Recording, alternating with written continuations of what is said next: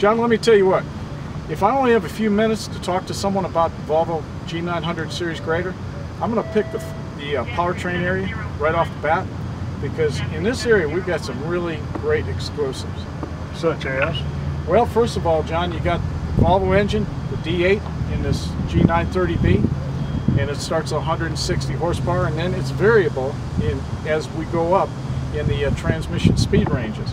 And speaking of transmission, this Volvo engine is coupled up direct drive to an exclusive 11-speed forward, 6-speed reverse Volvo transmission. So what does that do for the customer? Well, first of all, it gives you a lower first gear. It's Right. like a creeper gear, so you get excellent precision at low speed grading. And then it gives you a really high top end gear for faster road speed. Okay. And then because it's got 11 speeds versus the competitive 8 speed units, Right? it gives you those three extra gears, and one of those is down in the middle in the working area. So it allows that operator more precise control over his engine speed relative to road speed. Gotcha. See what I'm talking about? Oh yeah.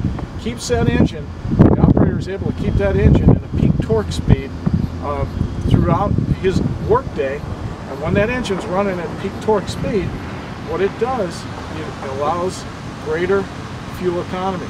Okay. This machine can run as low as, well, we've seen them run under three gallons an hour. Right. Gary, you talked about the engine. Tell us a little bit more about it. Well, it's the 8 liter uh, Volvo engine. It's six cylinder, totally rebuildable. Uh, got all replaceable valve guides, valve seat inserts. Uh, it's a Tier 4 engine.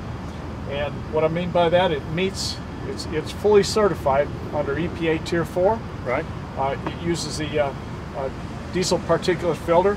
There's no uh, uh, diesel exhaust fuel Right. that they're using on the on-highway trucks nowadays. Okay. All your service points are over on the left-hand side here. You got two uh, cartridge-type oil filters, Right. which are really a great feature. You don't have the big spin-on filters, uh, so your cost on the filters is lower. There's less going in the landfill. Uh, your uh, fuel filter, diesel particulate filter up here.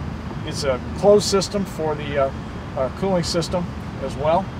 And there's no daily checks on this machine. You see, we've got a dipstick here, Right. but you don't have to pull that dipstick if you don't want to because the engine oil level, the crankcase level, the hydraulic level, and the coolant level is all measured continually through our Contronic system.